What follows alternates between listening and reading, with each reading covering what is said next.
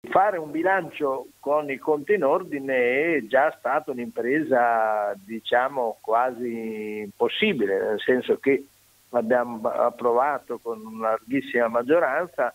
un bilancio che chiude il 2019 con eh, i conti in ordine e fa una previsione 2021 eh, speriamo abbastanza realistiche perché si chiama appunto bilancio di previsione eh, in una fase di difficoltà dei comuni che fanno parte dell'Unione, eh, di difficoltà quindi dell'Unione e eh, diciamo di incertezza anche sul piano dei trasferimenti da parte della regione soprattutto, mentre la Toscana e l'Emilia Romagna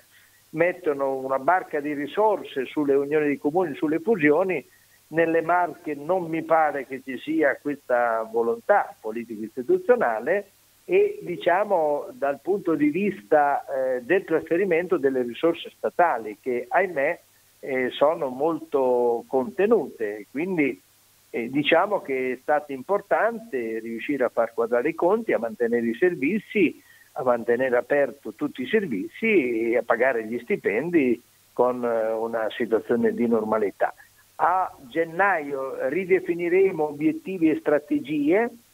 dopo gli stati generali che abbiamo tenuto a Monteciccardo con un piano strategico insieme all'Università di Urbino, ad altre realtà territoriali, ad altre esperienze anche in giro per l'Italia, sperando insomma, di avere il vaccino, di aver superato il, il Covid e di poter progettare il futuro con più ottimismo, più fiducia e più speranza.